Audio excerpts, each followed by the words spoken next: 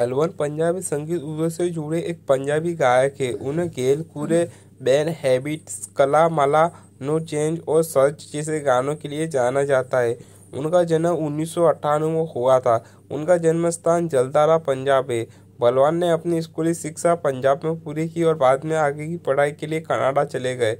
बलवान ने अपने गायन करियर की शुरुआत स्टाइल गाने से की और उसके बाद search beauty mark band habits इसके बोतल और भी बहुत कुछ किया।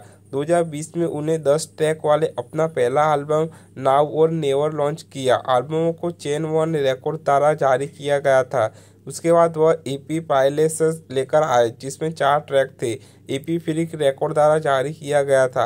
अठारह मार्च दो हज़ार बाईस को उन्हें ईपी प्राइसलेस के गाने सी एफ़ एफ़ टी के लिए एक संगीत वीडियो जारी किया और इसके अलावा वीडियो का निर्देशन मनप्रीत तूर ने किया था।